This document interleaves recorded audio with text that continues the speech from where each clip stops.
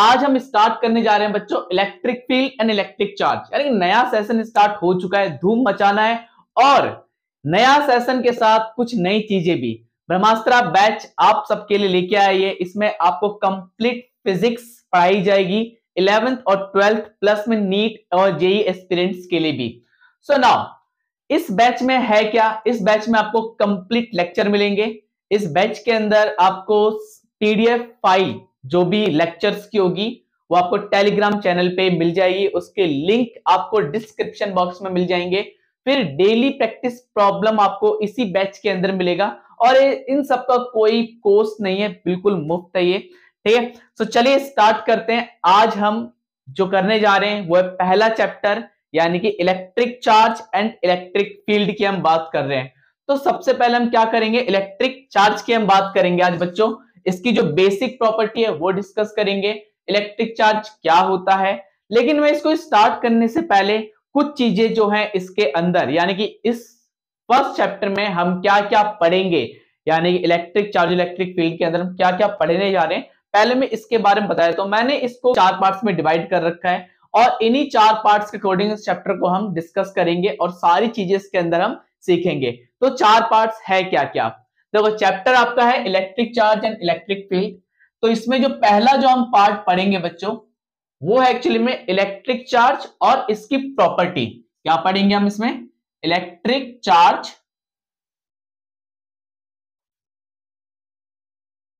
and its property सबसे पहले तो हम इसको पढ़ेंगे इसके अंदर.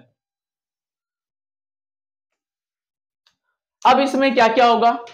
इसमें आपकी इलेक्ट्रिक चार्ज की डेफिनेशन होगी प्रॉपर्टीज़ होंगी, जो इसके तीन प्रॉपर्टीज़ है बेसिक फिर चार्जिंग ऑफ़ अ बॉडी किसी बॉडी को हम चार्ज कैसे कर सकते हैं, इसी के अंदर वो भी हम पढ़ेंगे, और फिर प्लस में कुछ न्यूमेरिकल्स जो इसके अंदर न्यूमेरिकल्स आएँगे जितने भी, वो हम इसके अंदर डिस्कस करेंगे। अच्छा दूसरा इसके अंदर क्या है? दूसरा जो इस चैप्टर का डिवीज़न है, वो है एक्चुअली में कुलोम स्लो यानी कि इलेक्ट्रिक फोर्स जिसे आप बोलते हो ठीक है? दूसरा इसके अंदर हम पढ़ेंगे कुलॉम्स लो। जिसे हम लोग इलेक्ट्रिक फोर्स भी बोलते हैं। इलेक्ट्रिक फोर्स भी बोलते हैं इसको हम। अब इस कुलॉम्स लो में हम क्या क्या पढ़ेंगे? बच्चों, इसमें कुलॉम्स लो का एक तो वेक्टर फॉर्म है, वो हम डिस्कस करेंगे, होता क्या है? ठीक है? उसके बाद हम इसमें न्यूमेरिकल्स डिस्कस करेंगे, जो भी इस पे बेस्ड न्यूमेरिकल्स हैं, वो हम पढ़ेंगे। तीसरा जो यहाँ पे फ़ेज़ है तीसरा जो पार्ट है इस चैप्टर का वो एक्चुअली में आ, बड़ा मज़ेदार है। यहाँ से एक्चुअली मेन आपका चैप्टर स्टार्ट होता है। यहाँ तक तो जस्ट बेसिक है लेकिन जो जहाँ से आप अप्लाई करते हैं सारी नॉलेज को वो यहाँ से है यानी इलेक्ट्रिक फ़ील्ड से। तो हम जो नेक्स्ट जो तीसरा पार्ट होगा इसका वो इलेक्ट्रिक फ़ील्ड होगा। इलेक्ट्रिक फ़ील्ड में क्या क्या है? अच्छा इलेक्ट्रिक फ़ील्ड के साथ साथ हम यहाँ पे इलेक्ट्रिक डाइपोल भी पढ़ेंगे। क्या पढ़ेंगे? इलेक्ट्रिक डाइपोल भी हम यहाँ पे पढ़ेंगे इलेक्ट्रिक फ़ील्ड के साथ साथ। और फिर उसके बाद इलेक्ट्रिक फ़ील्ड में देखो, एक तो due to point charge electric field हम पढ़ेंगे। Due to point charge electric field पढ़ेंगे। Electric field due to dipole भी पढ़ेंगे। Electric field due to dipole पढ़ेंगे। अब इसमें दो हैं, इक्विटोरियल और एक्सेल पोजिशन। इसमें भी हमारे पास दो हैं, एक तो इक्विटोरियल है इक्विटोरियल और दूसरा इसके अंदर एक्सियल पोजीशन पे फ़ील्ड हम निकालेंगे।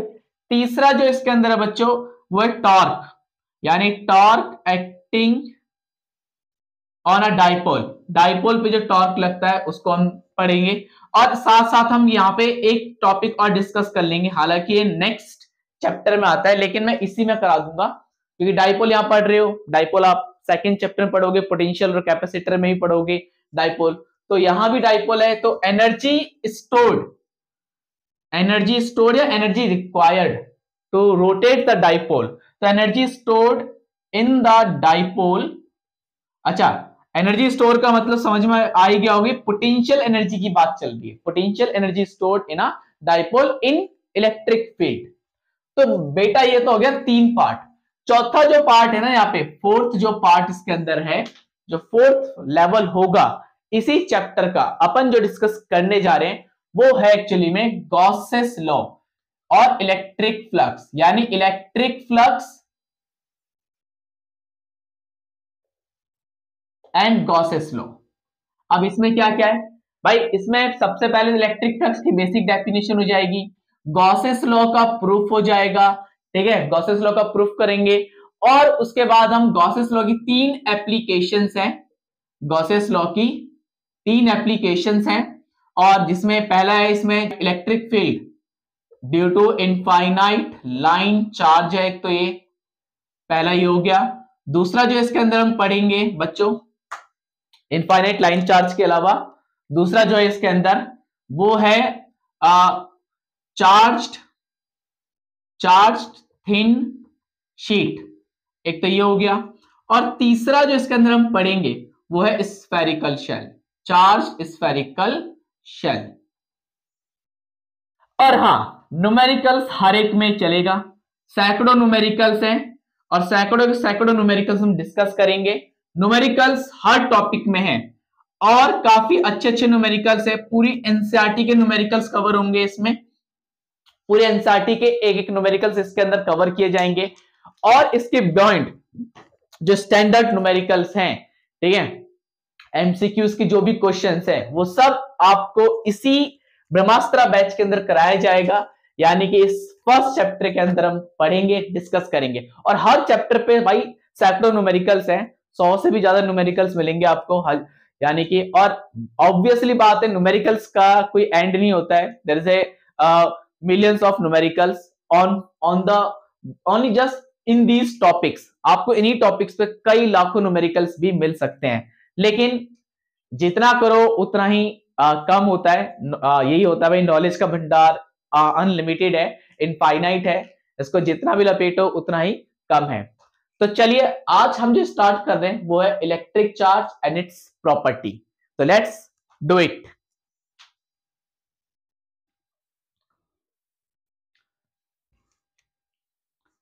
so electric charge हम स्टार्ट करने जा रहे हैं। इसकी प्रॉपर्टीज़ और इस पे बेस कुछ दो चार सवाल। सो so, बच्चों सबसे पहले तो सवाल ये कि इलेक्ट्रिक चार्ज होता क्या है? आप लोगों ने पढ़ा होगा इलेक्ट्रिक चार्ज टेंथ क्लास में पढ़ा था मेरे ख्याल से ना? उससे पहले भी एट्थ क्लास में शायद कहीं जहाँ इलेक्ट्रिसिटी का चैप्टर था वहाँ पढ़ा होगा। लेकिन आपने डेफिनेशन इसकी तब भी नहीं पढ़ी थी। बट आज आप डेफिनेशन भी पढ़ोगे इसकी वेरियस प्रॉपर्टीज़ भी पढ़ोगे। एक प्रॉपर्टी आप लोगों ने ऑलरेडी पढ़ रखी है, ठीक है? तो कोई वो नहीं है। तो चलिए स्टार्ट करते तो इलेक्ट्रिक चार्ज है क्या? इलेक्ट्रिक चार्ज एक तरह से इंट्रेंसिक प्रॉपर्टी होती है। Intrinsic property of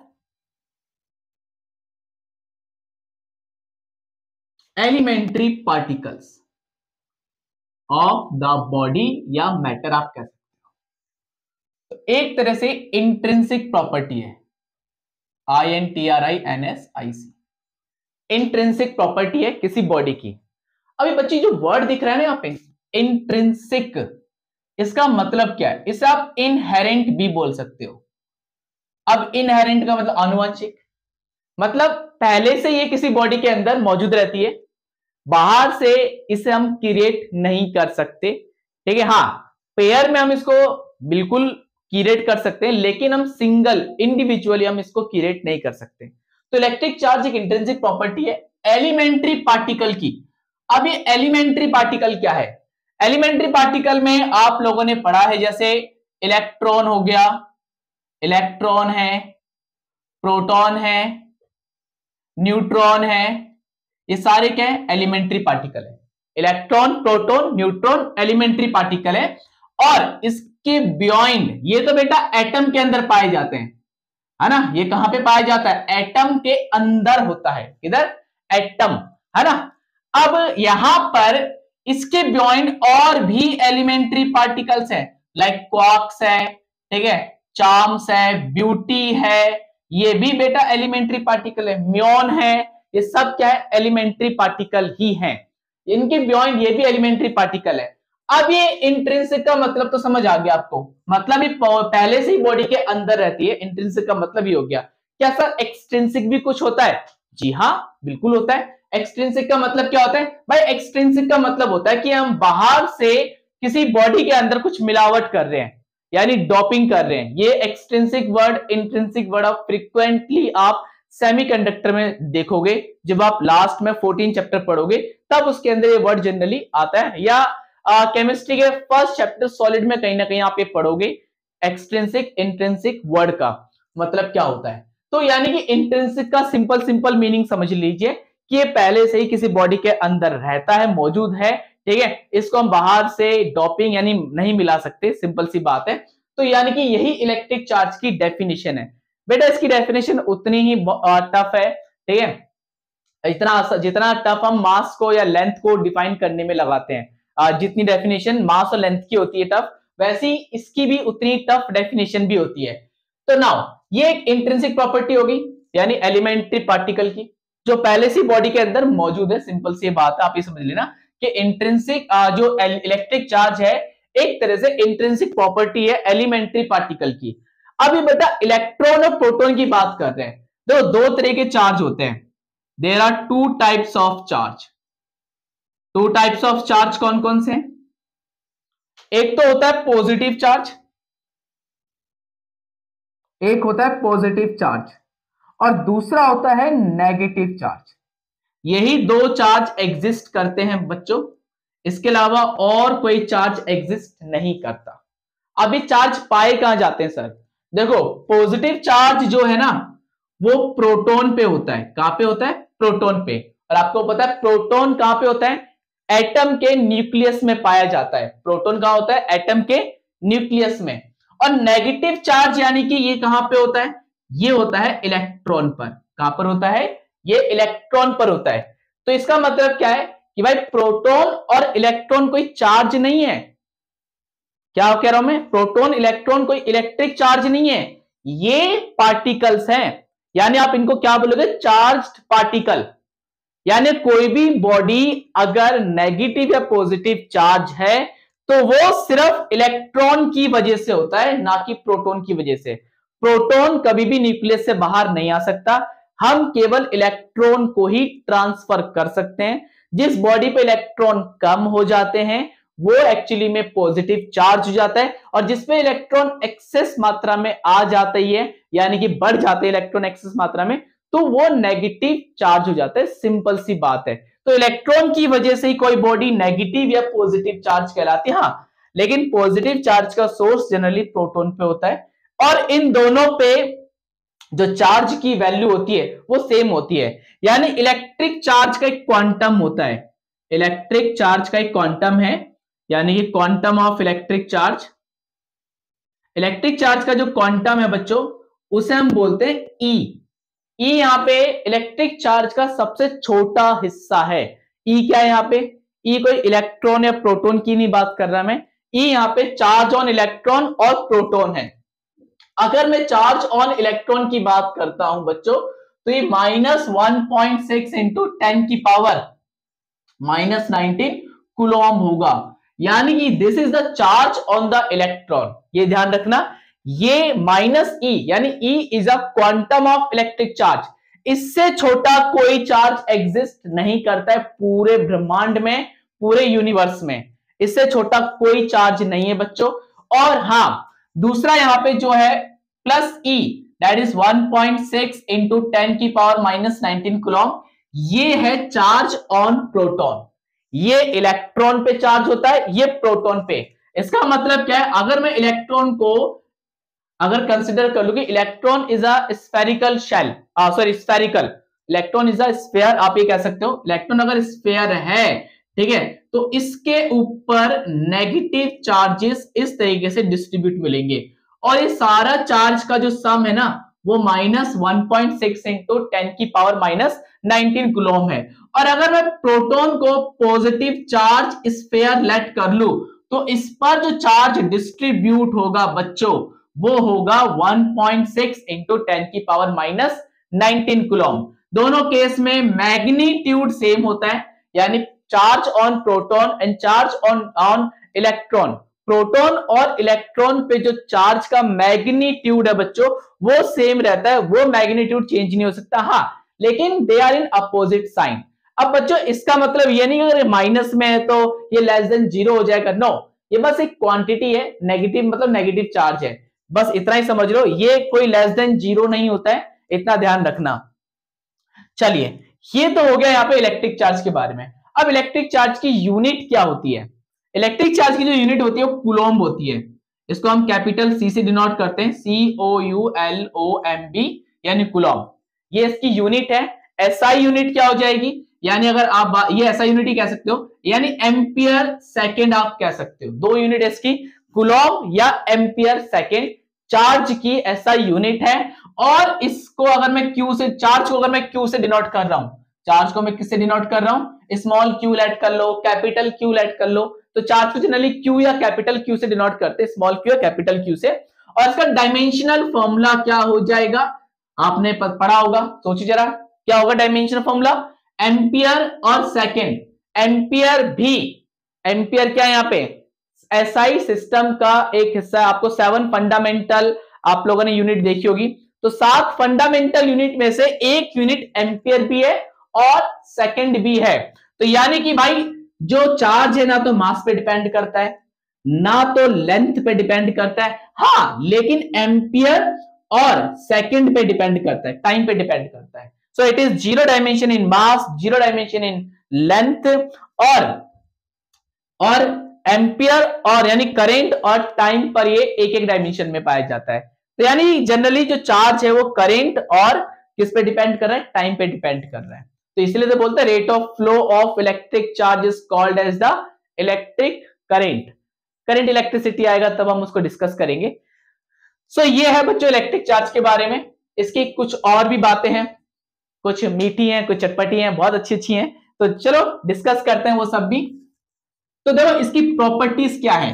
अब हम जो बात करने जा रहे हैं इलेक्ट्रिक चार्ज की प्रॉपर्टी की बात करने जा रहे हैं। तो सबसे पहले तो हम बात कर रहे हैं fundamental law of electrostatic fundamental जो पहली प्रॉपर्टी है बेसिकली तीन प्रॉपर्टी होती है बट जो चौथी प्रॉपर्टी है, ये मैं इसको इसी के अंदर डाल दे रहा हूँ, ठीक है? मैं इसको बाहर नहीं लिख रहा हूँ। तो जैसे पहली प्रॉपर्टीज़ के अंदर क्या है? प्रॉपर्टीज़ ऑफ़ इलेक्ट्रिक चार्ज पहली प्रॉपर्टी बच्चों इसमें है। लाइक चार्जेस या आप लोगों ने पढ़ा होगा। लाइक चार्जेस रिपेल लाइक में क्या क्या आता है? भाई पॉजिटिव पॉजिटिव और नेगेटिव नेगेटिव ये क्या करेंगे एक दूसरे को? रिपेल करेंगे। क्या करेंगे? रिपेल करेंगे। ये एक दूसरे को रिपेल करते हैं पॉजिटिव पॉजिटिव और नेगेटिव नेगेटिव ये एक दूसरे को रिपेल करेंगे। Right right? ये रिपल्शन हो गया इन दोनों में। एंड अनलाइक चार्जेस अनलाइक का मतलब भाई दो ही तो चार्ज है। एक पॉजिटिव एक नेगेटिव दो ही चार्ज है, एक पॉजिटिव एक नेगेटिव है। तो अनलाइक चार्ज में क्या हो जाएगा? कि भाई पॉजिटिव और नेगेटिव चार्ज जब कांटेक्ट में आते हैं मतलब टच नहीं कर रहे हैं मतलब बहुत पास में आ जाते हैं, बिल्कुल क्लोज आ जाते हैं अनलाइक चार्जेस तो वो एक दूसरे को क्या करते हैं अट्रैक्ट करते हैं। क्या करेंगे?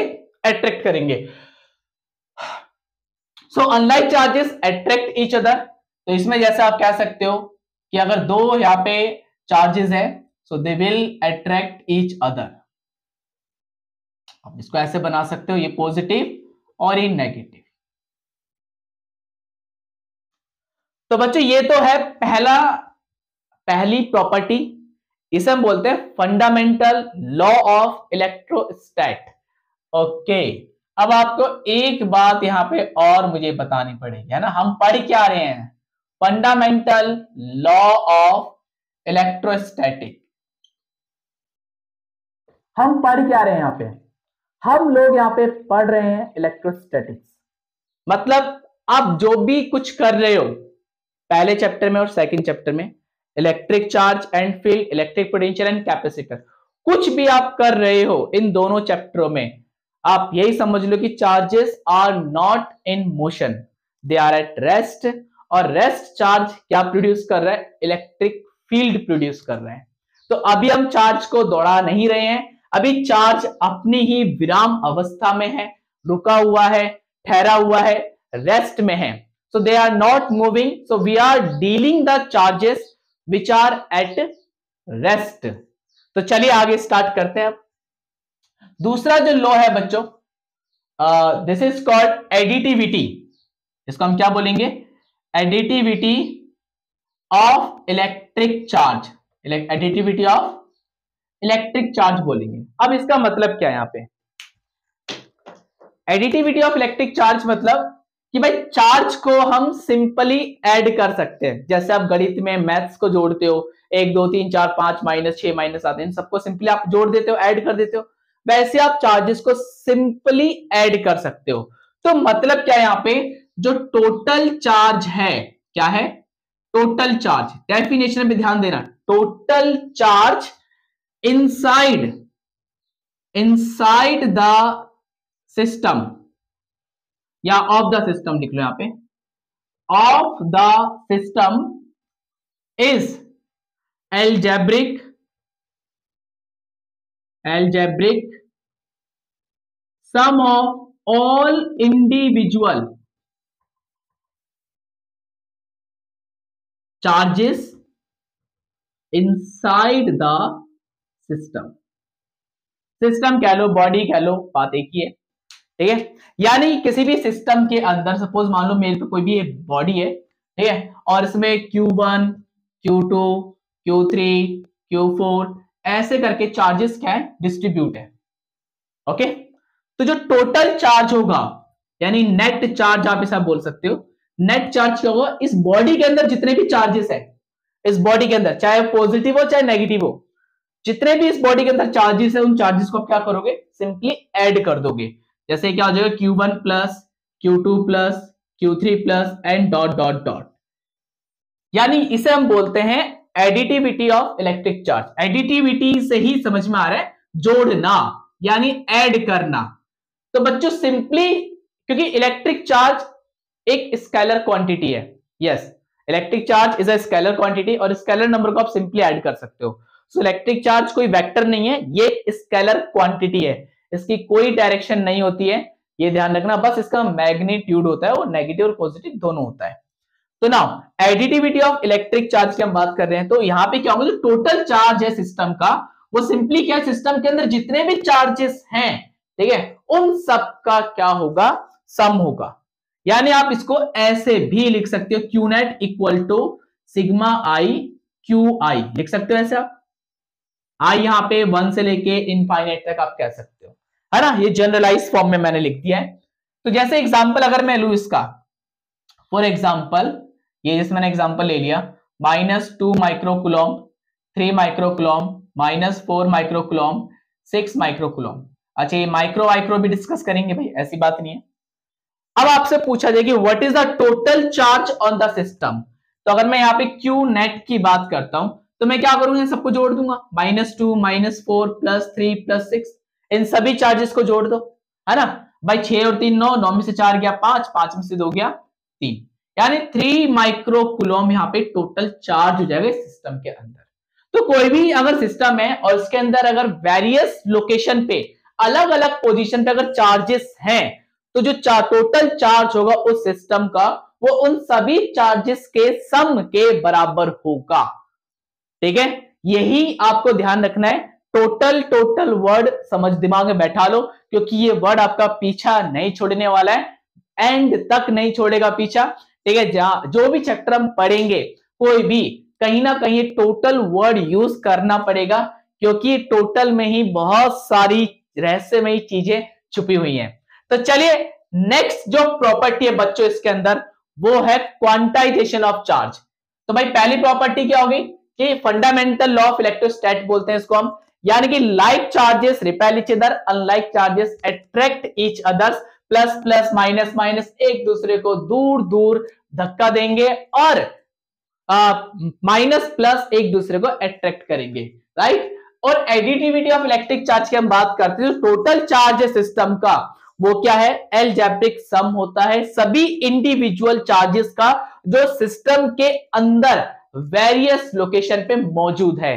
तो यानी q net equal to q one plus q two plus q three and dot dot dot यानी यहाँ पे कह सकते हो तो ये हमारे पास सिस्टम है टोटल चार्ज है और इस पे ये सिस्टम का जो टोटल चार्ज है, इनको सिंपली एड कर दिया है।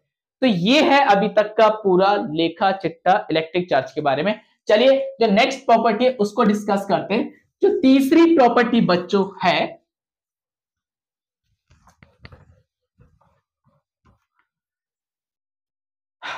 तीसरी property what is the third properties this is called as the quantization क्या कहते हैं इसको हम? ये थोड़ा लंबा टॉपिक होने वाला है. क्वांटाइजेशन ऑफ़ चार्ज यानी इलेक्ट्रिक चार्ज का क्वांटाइजेशन अच्छा क्वांटाइजेशन आपने पहले कहीं पढ़ा है वर्ड कहीं पढ़ा है? शायद पढ़ा हो मेरे ख्याल से। चल, नहीं पढ़ा तो आज पढ़ लो। सो क्वांटाइजेशन ऑफ़ चार्ज इसे हम बोलते हैं universal law universal law of charge बोलते हैं इसको, हम क्या बोलते हैं? Universal universal law of charge आप ये कह सकते हो yes universal law of charge आप कह सकते हो इसको। है क्या इसमें? अगर कोई भी अगर बॉडी है, यानी चार्ज टोटल चार्ज आप ये कह सकते हो total charge on a body on a body is integral multiple of e integral multiple of e अब ई क्या है यहाँ पे? बताया था। E is the quantum of electric charge e क्या है यहाँ पे? E is the quantum of electric charge मतलब इलेक्ट्रिक चार्ज का सबसे छोटा हिस्सा, इससे छोटा कोई भी हिस्सा नहीं हो सकता। और इसकी वैल्यू कितनी होती है?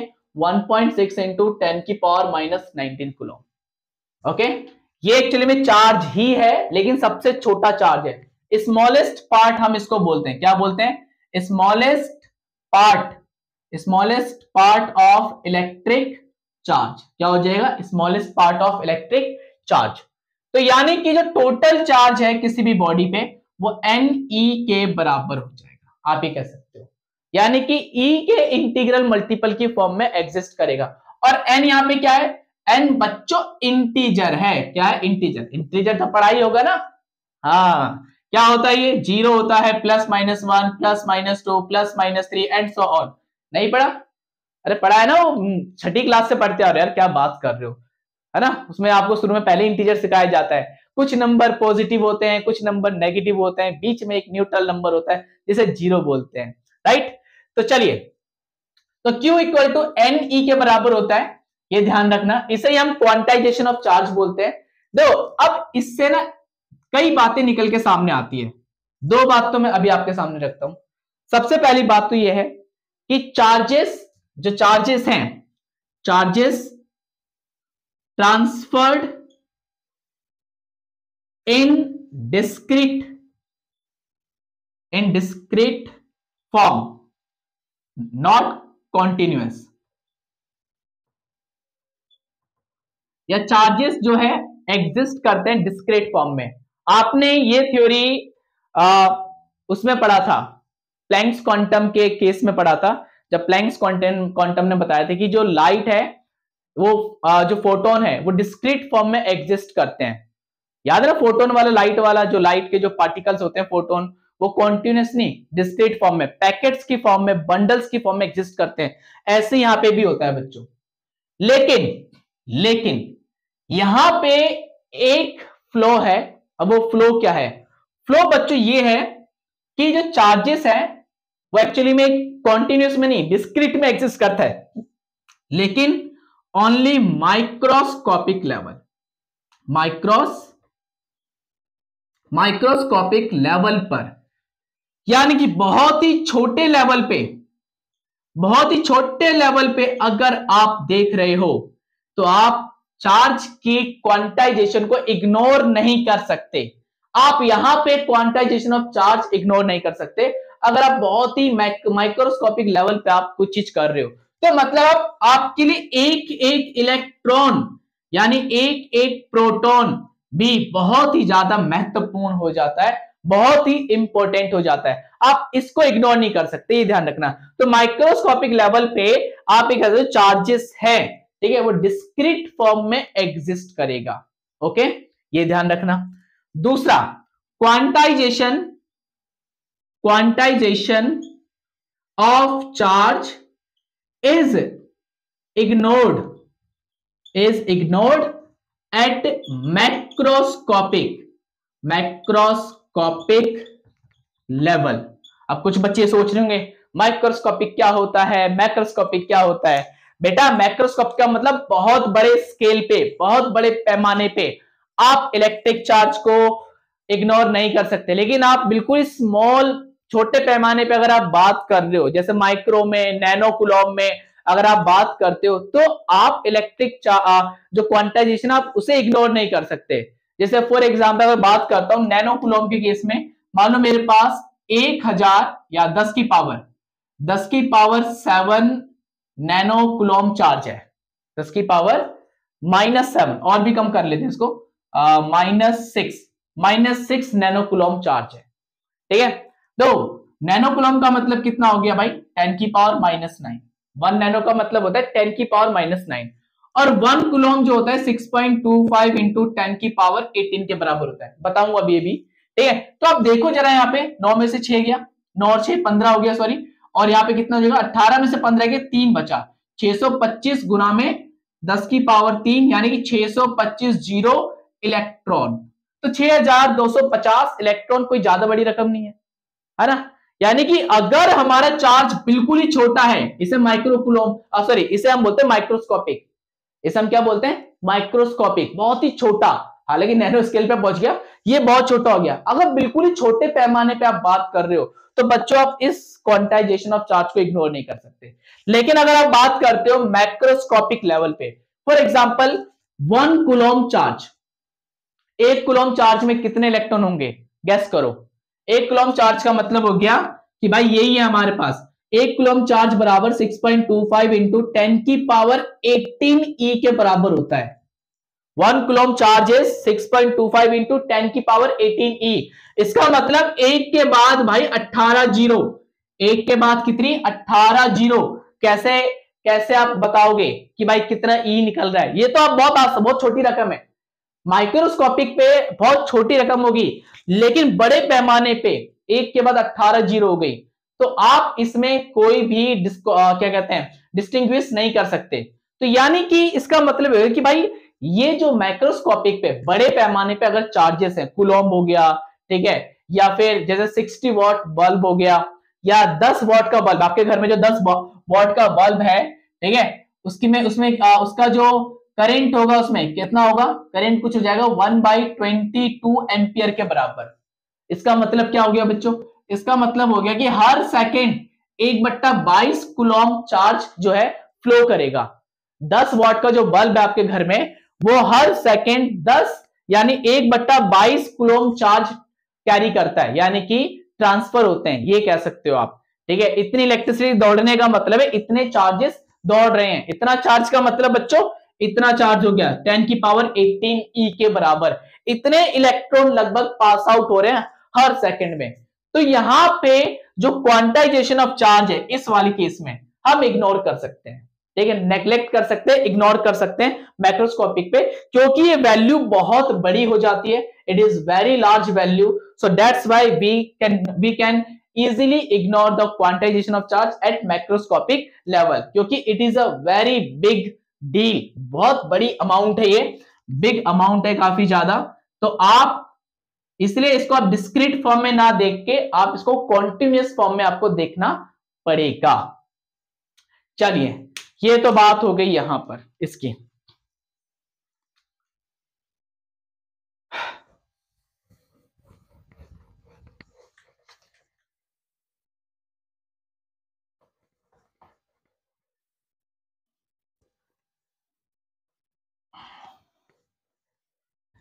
चलो एक चीज़ और इसमें डिस्कस करता हूँ मैं। आ, एक कुलॉम्ब में कितने चार इलेक्ट्रॉन होंगे? वन कुलॉम्ब बराबर कितने इलेक्ट्रॉन ये क्वेश्चन है एग्जांपल है बच्चों। एक कुलॉम्ब में कितने इलेक्ट्रॉन होंगे? यानी how much how much e आप कह सकते हो। ई e मतलब इलेक्ट्रॉन लेट कर लो प्रोटोन लेट कर लो। ठीक है? Is a quantum of electric charge अगर माइनस ई लिख रहा हूँ तो भाई इलेक्ट्रॉन हो गया प्लस ई तो प्रोटोन हो गया। ठीक है? Is the quantum of charge ये आप कह सकते हो। तो वन कुलोम यानी कि इक्वल टू आप ही देखो हमारे पास क्वांटाइजेशन ऑफ़ चार्ज क्या है? क्यू इक्वल टू एन ही होता है। है ना? यही तो होता है। तो वन कुलोम का मतलब एन इंटू में ई e किसके बराबर होता है? 1.6 पॉइंट सिक्स इंटू टेन की पावर माइनस नाइनटीन के बराबर होता है। तो भाई एन कितना आ जाएगा? One by one point six into ten की पावर माइनस नाइनटीन भाई सॉल्व करोगे तो six point two five into ten की पावर एटीन हो जाएगा। तो एक कुलॉम में लगभग six point two five into ten की पावर एटीन ई के बराबर इलेक्ट्रॉन होते हैं। ठीक है तो एक कुलॉम अपने आप में बहुत बड़ी यूनिट है, यानी कि वेरी बिग यूनिट क्या हो जाएगा? वेरी बिग यूनिट आप कह सकते हो। तो देखना आप, जितने भी कैपेसिटर होते हैं, ठीक है तो माइक्रो कुलॉम ठीक है, या फेराड वगैरह माइक्रो फेराड नैनो फेराड इस तरीके से होता है उसमें। ठीक है? यानी कि जो चार्जेस होते हैं जनरली आप देखना भाई माइक्रो नैनो में ही यूज़ किया जाता है। इतना इतनी बड़ी यूनिट होती है कुलॉम चार्ज में यूज़ करना बहुत बड़ी बात है। जो टेन वॉट का जो जो एलईडी बल्ब आपके घरों में जलता है ठीक है ना? वो भी एक्चुअली में इत, आ, क्या कहते हैं? एक बट्टा बाईस कुलॉम पर सेकेंड चार्ज को कैरी करता है। हर सेकेंड इतने चार्ज उसमें ट्रांसफ़र होते हैं। तो ऑलमोस्ट इतना ही हो गया। आप गुणा कर लो चाहो तो। एक बट्टा बाईस गुना में six point two five into में टेन की पावर एटीन लगभग सॉल्व कर लो। ये तो ऑलमोस्ट बराबर ही है। एक तरह से बाईस और इसमें कितना अंतर है? ज़ीरो पॉइंट समथिंग आ जाएगा, तब भी सेवनटीन पावर बहुत बड़ी यूनिट अभी भी। है ना? तो चलिए, आगे बढ़ते हैं।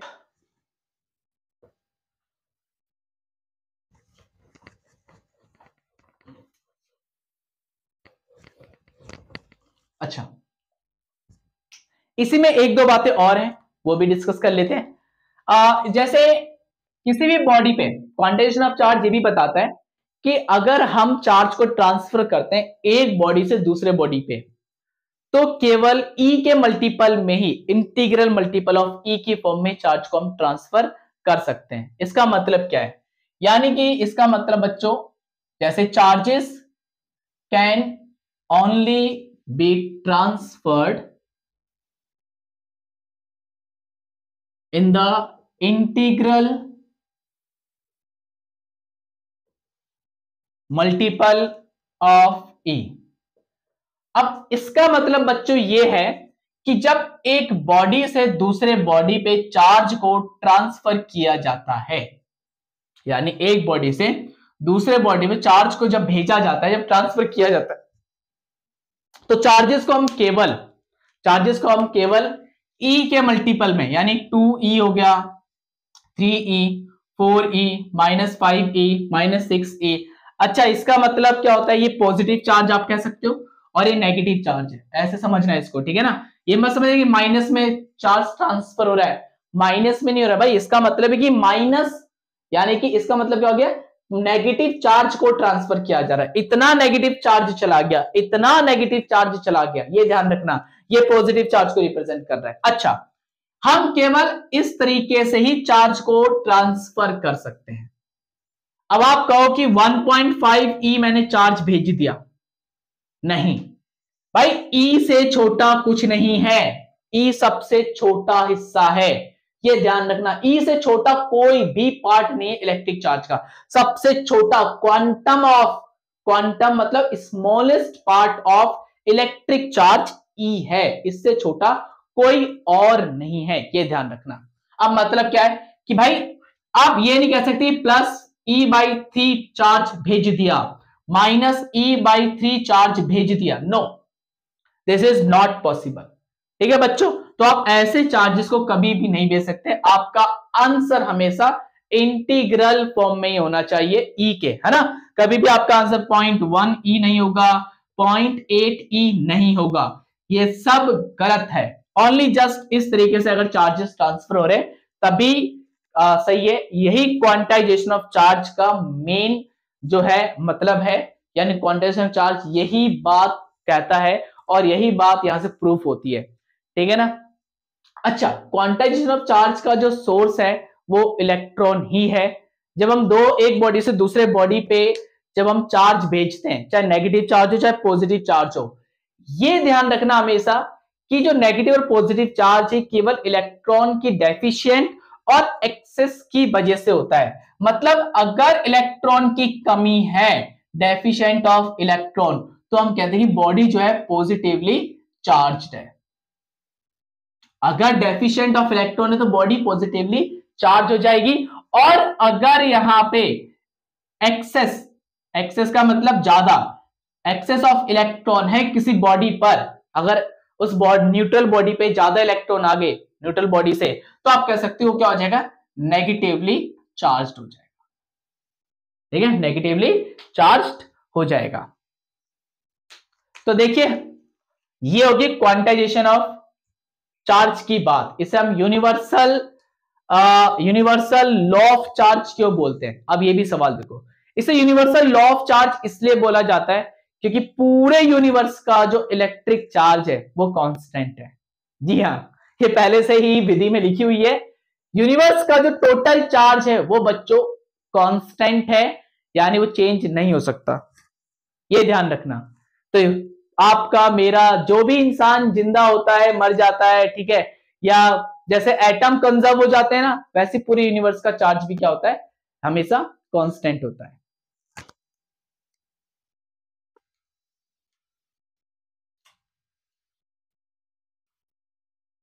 अच्छा इसको ना यूनिवर्सल लॉ ऑफ़ चार्ज की बजाय आप नेचर बोल लो। क्या बोल लो? Nature universal universal law of nature of charge आप बोल सकते हो। नेचर ऑफ़ चार्ज आप ही कह सकते हो। यानी पूरे यूनिवर्स का जो जो चार्ज होता है वो कांस्टेंट होता है। यानी क्वांटाइज्ड होता है। ओके क्या होता है? क्वांटाइज्ड होता है। पूरे यूनिवर्स का चार्ज हो क्वांटाइज्ड रहेगा। अच्छा एक चीज़, एक बात और है इसमें। क्वार्क इसके बारे में बहुत सुना होगा आप लोगों ने कि क्वार्क्स जो है इलेक्ट्रॉन से भी छोटा माना जाता है। बिल्कुल माना जाता है, मैं कह सकता हूँ। अगर आप उसको अलग कर सको तो वरना नहीं। बेटा क्वार्क से आप अलग नहीं कर सकते। क्वार्क पे चार्ज कितना होता है? Plus minus two by three e और plus minus one by three e ये क्वार्क पे चार्ज होता है। लेकिन two by three e minus two by three e one by three e minus one by three e ये exist नहीं करता। भाई, इन, यानी कि आइसोलेटेड या इंडिविजुअल जो चार्ज है क्वार्क के ऊपर, वो एग्जिस्ट नहीं कर सकता। ये हमेशा पेयर में होगा भाई। हमेशा पेयर में होगा। तो अगेन जो क्वांटम ऑफ़ इलेक्ट्रिक चार्ज है, वो क्या है? ई e है। यानी कि इलेक्ट्रॉन है। आप इलेक्ट्रॉन बोल सकते हो, कोई बात नहीं। झिझक हो रही है ई e बोलने में तो इलेक्ट्रॉन बोल लो, ओके? चलिए। नेक्स्ट जो इसके अंदर है, वो है कंजर्वेशन ऑफ़ चार्ज लास्ट इसका जो लॉ है, चौथा इसके अंदर है ना, तीन तो हो चुके हैं। चौथा जो इसके अंदर आता है कंजर्वेशन ऑफ़ इलेक्ट्रिक चार्ज जो चौथा पार्ट है इसमें।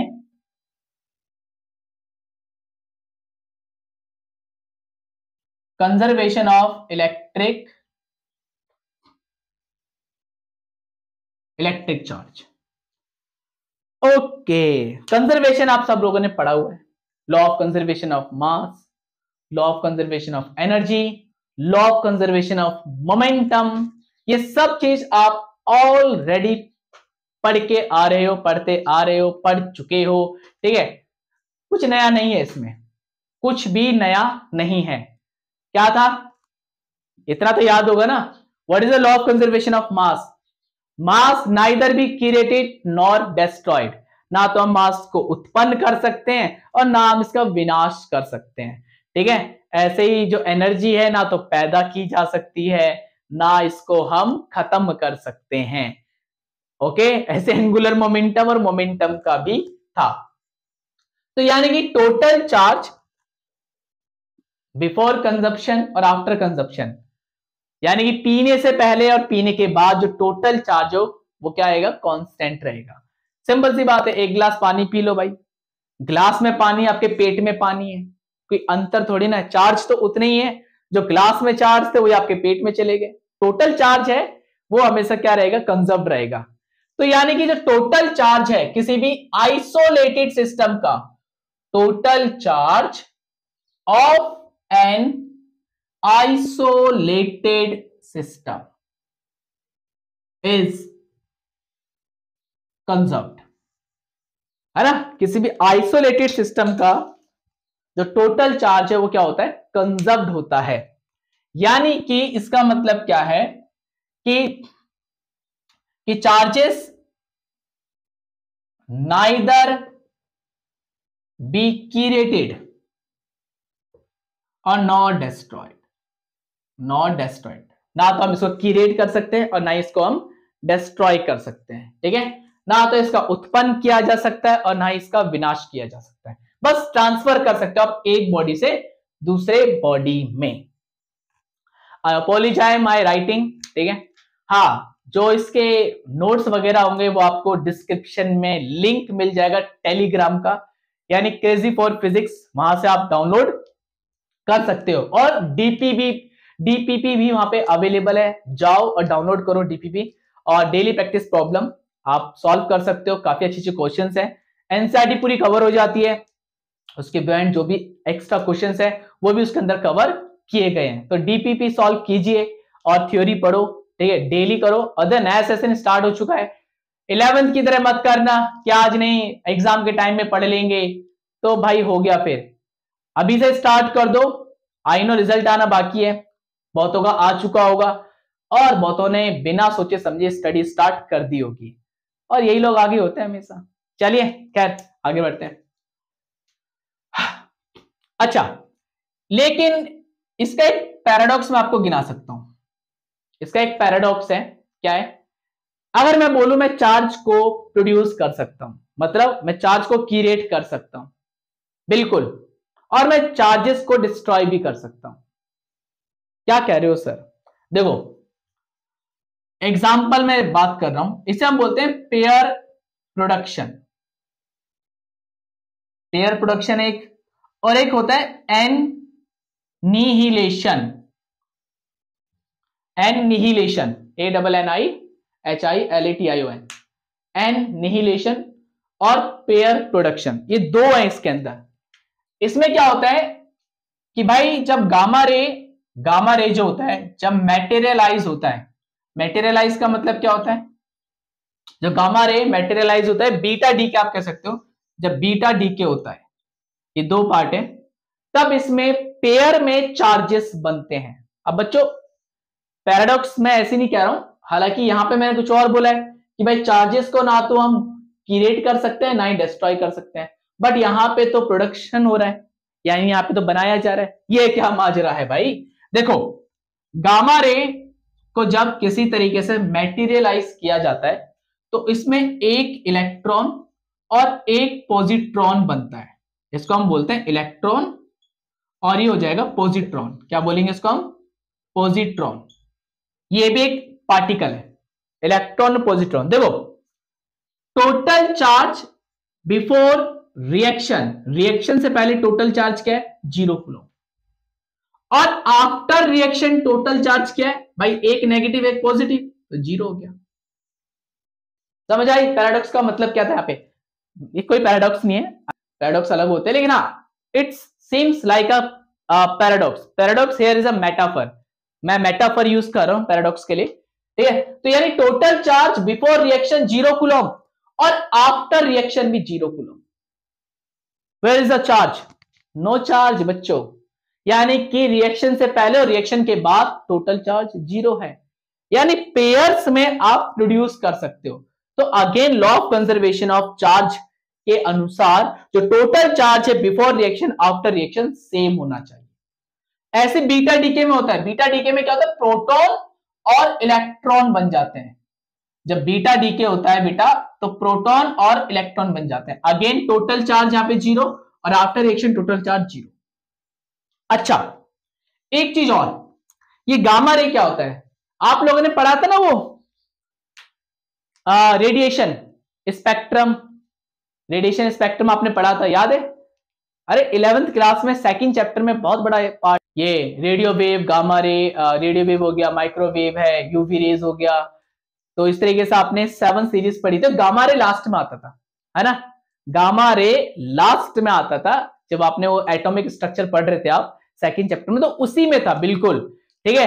तो गामा रे है क्या? एक तरह से फोटोन है ये। यानी कि लाइट है लाइट का एक हिस्सा है रेडिएशन का एक हिस्सा है। इट्स अ फोटोन यानी फोटोन को हम किसमें कन्वर्ट कर रहे हैं? मेटेरियल में। फोटोन को किसमें चेंज किया जा रहा है? मेटेरियल में चेंज किया जा रहा है। ओके? इसे हम बोलते हैं पेयर प्रोडक्शन। दूसरा है एनिलेशन।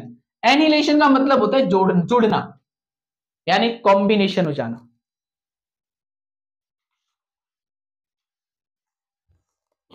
यानी कॉम्बिनेशन हो जाना। इसका मतलब क्या है? कि भाई, अगर ये, अगर मान लो गामा रे से इलेक्ट्रॉन और पॉजिट्रॉन बन रहा है तो इलेक्ट्रॉन पॉजिट्रॉन को जोड़ के गामा रे भी बनाई जा सकती है। तो electron plus positron gives gamma ray ठीक है? तो total charge before and after reaction is zero तो ये बच्चों दो एग्ज़ाम्पल थे और इसके बियॉन्ड एक सबसे आसान एग्ज़ाम्पल भी आपको मैं दे सकता हूँ। सबसे आसान एग्ज़ाम्पल क्या है? बिल्कुल इजी एग्ज़ाम्पल जो आप लोग बहुत ही लॉन्ग टाइम से पढ़ते आ रहे हो। That is ionization of rock salt ionization of rock salt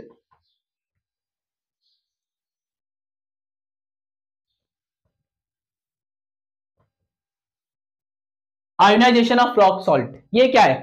अरे रॉक सॉल्ट में पत्थर में जो पाया जाता है सोडियम क्लोराइड हो गया, है ना? जब इसका आयोनाइज किया जाता है, Na plus C L negative ये भी एक कंजर्वेशन ऑफ़ चार्ज का एग्ज़ाम्पल है। भाई इसमें पॉजिट्रॉन हो गया और ये इलेक्ट्रॉन हो गया। है ना? तो यानी कि total charge before and after zero ये न्यूट्रल होता है ना? Na plus is neutral neutral compound होता है ये। तो चलिए बच्चों, ये तो हो गया आपका कंजर्वेशन ऑफ़ इलेक्ट्रिक चार्ज यानी कि यहाँ तक जो आपकी बेसिक प्रॉपर्टी है इलेक्ट्रिक चार्ज से रिलेटेड वो कवर अप हो चुकी है। अब कुछ स्पाइसी टॉक की बात करते हैं। देखो अगर चार्जेस रेस्ट में है तो इलेक्ट्रिक फ़ील्ड प्रोड्यूस करेगा। लिख देता हूँ मैं सब कुछ। और नोट करते रहो पेन कॉपी निकाल लो भाई। नोट करते रहो, क्या पढ़ाया जा रहा है, क्या हो रहा है यहाँ पे।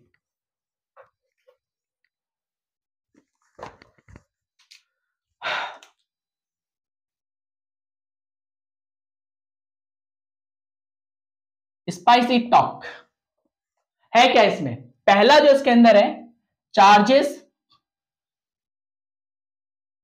at rest it will produce only electric field अगर चार्जेस रेस्ट पे है तो केवल क्या प्रोड्यूस करेंगे? इलेक्ट्रिक फ़ील्ड प्रोड्यूस करेंगे। ये हम पढ़ेंगे, आगे जाके डिस्कस करेंगे। ठीक है? दूसरा। Charges in motion but but unaccelerated accelerate नहीं कर रहा है, यानी कांस्टेंट यूनिफॉर्म मोशन आप कह सकते हो अनएक्सलरेटेड चार्ज पार्टिकल है। तो वो क्या प्रोड्यूस करेगा? Electric field and magnetic field only ध्यान रखना इसमें, जो लिख रहा हूँ वही समझो इसको। तीसरा इसमें है एक्सलरेटेड एक्सलरेटेड चार्ज पार्टिकल अब ये क्या करेगा? एक्सेलरेटेड चार्ज पार्टिकल आपने पढ़ा है बच्चों, है ना? कोई भी अगर चार्ज पार्टिकल एक्सेलरेट होता है तो वो इलेक्ट्रोमैग्नेटिक वेव प्रोड्यूस करता है। यानी इसमें इलेक्ट्रिक फ़ील्ड जनरेट होगा मैग्नेटिक फ़ील्ड जनरेट होगा अलोंग विद इसके साथ? ईएम e वेव के साथ। ईएम वेव e जिसे आप क्या बोलते हो? रेडिएशन भाई, यहाँ पे no radiation unaccelerated charge particle कोई रेडिएशन प्रोड्यूस नहीं करता। लेकिन accelerated charge particle radiation produce करेगा। तो ये थोड़ी सी स्पाइसी टॉक के बारे में हो गई बातें।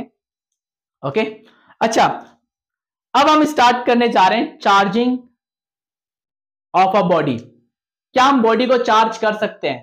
कोई न्यूट्रल बॉडी है और एक चार्ज बॉडी है। क्या आई मीन दोनों को मिला के दोनों जो न्यूट्रल बॉडी है, उसको हम चार्ज कर सकते हैं? जी हाँ बिल्कुल कर सकते हैं। उसी के ऊपर हम डिस्कस करने जा रहे हैं। तो यहाँ पे तीन यहाँ पे टेक्निक है हमारे पास बॉडी को चार्ज करने की।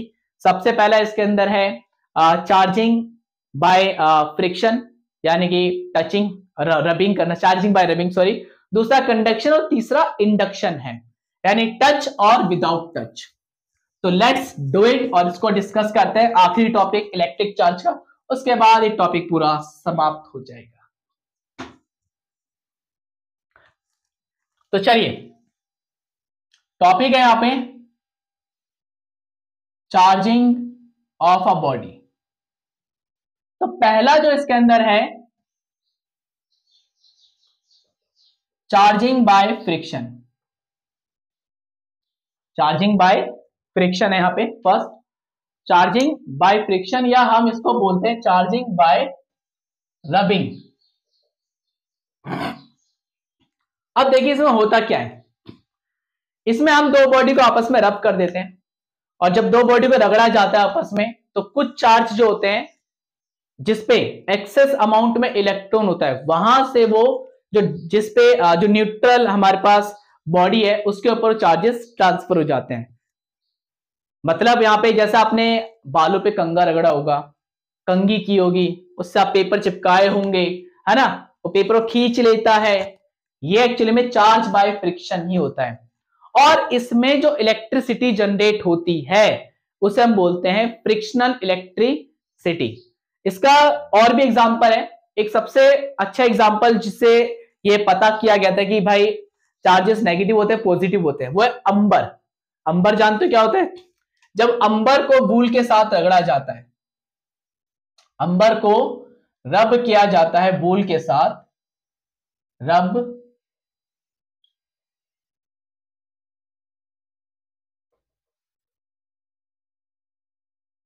तो जो अंबर है ना, ये नेगेटिवली चार्ज हो जाता है। क्या हो जाता है? नेगेटिवली चार्ज हो जाता है। और ये लाइट जो बॉडी है ना लाइट बॉडी यानी बिट ऑफ़ पेपर्स इस तरीके के जो ऑब्जेक्ट जो ऑब्जेक्ट्स है, उनको ये अट्रैक्ट कर सकता है। अब अंबर होता क्या है? अंबर कोई आकाश नहीं है नीला नीला गगन नहीं है। अंबर का मतलब होता है पेड़ का गोंद। क्या बोलते हैं इसको हम? पेड़ का गोंद बोलते हैं। अच्छा थोड़ा और इसको मैं करेक्ट करना चाहता हूँ। भाइयों एंड बहनों इट इज़ फोसिलाइज्ड फोसिलाइज्ड आप कह सकते हो स्टोन ठीक है इसे हम फोसिलाइज्ड स्टोन बोल सकते हैं। यानी जब ये जो पेड़ का गोंद देखा है ना गूंद के लड्डू तो सुने होंगे। जो पेड़ में से गोंद निकलता है उसी गोंद की बात कर रहा हूँ, जब ये बहुत लॉन्ग टाइम तक रखा रह जाता है तो ये पत्थर जैसा हो जाता है। और जब इसको वूल के साथ रगड़ोगे तो इसमें जनरली स्पार्कलिंग मतलब ये जो लाइट पेपर्स होते हैं, उसको ये अट्रैक्ट कर सकता है। ठीक है? और दूसरा एग्ज़ाम्पल भाई, अपने बिल्कुल ड्राई जो बाल है, उसे कंगा कंगा करो, और कंगे के, कंगे को ले जाओ, कुछ आप, क्या कहते हैं पेपर के पास। ठीक है? और वो पेपर को अट्रैक्ट करता है। आपने स्केल रगड़ा होगा बालों पे, फिर आप पेपर को आपने चिपकाए होंगे इस स्केल से, जादू दिखाया होगा इस तरीके से। देखो, ये सब आपको पता है, लेकिन मैं यहाँ पे बताने क्या आया हूँ? इनका कारण क्या है? क्या रीजन है इन सबके पीछे? ऐसा क्यों होता है? यही मैं यहाँ पे बताने आया हूँ। देखो बच्चों, होता क्या है? जैसे मान लो आपने अपने बालों में कंगा किया, ठीक है? आपने क्या किया? अपने बालों में कंगा कर लिया। ओके जब आप बालों में कंगा करोगे तो क्या होगा? कुछ जो चार्ज है, कुछ चार्ज इस पर से, यानी कि बालों में ट्रांसफ़र हो जाएँगे। आप ये कह सकते हो। यानी यहाँ, ये क्या करेगा? कुछ इलेक्ट्रॉन्स को लूज कर देगा। क्या करेगा? इलेक्ट्रॉन लूज करेगा। अगर इलेक्ट्रॉन लूज करेगा तो क्या हो जाएगा? पॉजिटिवली चार्ज हो जाएगा। क्या हो जाएगा ये? पॉजिटिवली चार्ज हो जाएगा। अब इसको आप किसी पेपर के पास लेके जाओ। ऐसे। ठीक है? अब देखो, क्योंकि अब ये पॉजिटिव चार्ज हो चुका है है ना? ये पॉजिटिव चार्ज हो चुका है। तो पेपर में क्या होता है? इलेक्ट्रॉन भी होता है। तो इलेक्ट्रॉन क्या होगा? इसके समीप आ जाएगा नियर बाय आ जाएगा। और जो पॉजिटिव यहाँ पे चार्ज होंगे, यानी जितने भाई अगेन है क्रिएट हो रहा है, एक तरह से इंड्यूस आप कह सकते हो हो रहा है तो। तो यहाँ पे क्या होगा कि जो इलेक्ट्रॉन की वजह से, क्योंकि यहाँ पे दो अपोजिट चार्जेस आ गए, एक पॉजिटिव चार्ज और एक नेगेटिव चार्ज तो ये कंगा क्या करेगा? इन इलेक्ट्रॉन को अपनी ओर खींचना शुरू करेगा।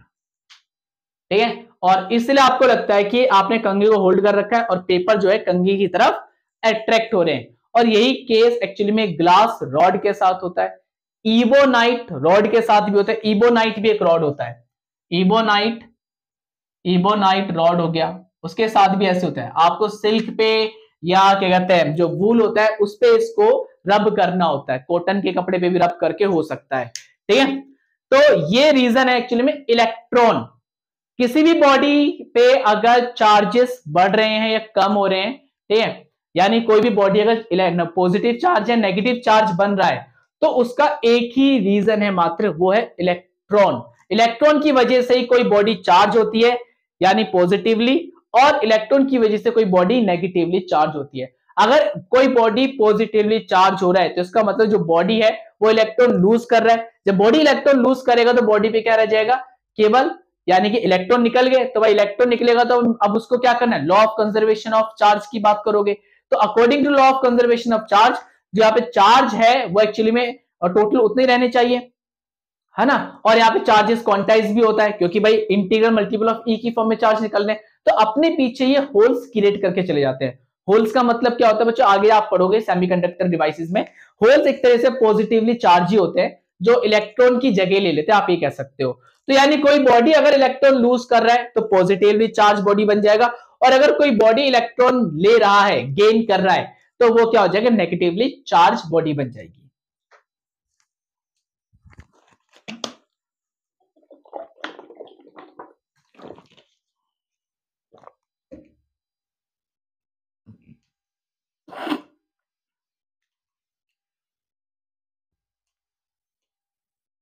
अच्छा अब इन सब में आप एक सवाल ये पूछ सकते हो। अच्छा इसमें एक चीज़ और है। आपने पत्थरों को मारा होगा जैसे रोडियो वगैरह होती है रोडियो को आपने देखा होगा जब रोडी के ऊपर रोडी मारी जाती है तो उसमें भी स्पार्कलिंग निकलती है। बेटा वो भी स्टैटिक चार्ज का एक एग्ज़ाम्पल है ठीक है? यानी कि आप ये कह सकते हो आ, कि उसे हम बोलते हैं फ्रिक्शनल इलेक्ट्रिसिटी ओके आपने लाइटनिंग देखी होगी। लाइटनिंग भी एक तरह से इसी का एक एग्ज़ाम्पल है जो बादल क्लाउड वगैरह होते हैं जब उसमें लाइटनिंग होती है तो वो भी फ्रिक्शनल इलेक्ट्रिसिटी होती है। जो यानी कि यहाँ पे यहाँ पे जो इलेक्ट्रिसिटी जनरेट होती है बच्चों, उसे हम बोलते हैं फ्रिक्शनल इलेक्ट्रिसिटी यानी रब करने से, घर्षण करने से जो इलेक्ट्रिसिटी जनरेट हो रही है, उसे हम फ्रिक्शनल इलेक्ट्रिसिटी बोलेंगे. तो भाई चार्जिंग बाई फ्रिक्शन में क्या होता है? दो बॉडी को रगड़ा जाता है तो एक बॉडी चार्ज लूज कर देती है, दूसरी बॉडी चार्ज गेन कर लेती है. इस प्रकार जो है बॉडी नेगेटिव और पॉजिटिव चार्ज हो जाता है और जो इस दौरान इलेक्ट्रिसिटी जनरेट होती है बिना किसी बिजली के दौड़ाए उसके अंदर या बैटरी के लगाए बिना उसके अंदर जो इलेक्ट्रिसिटी पैदा होती है, उसे हम क्या बोलते हैं? फ्रिक्शनल इलेक्ट्रिसिटी बोलते हैं।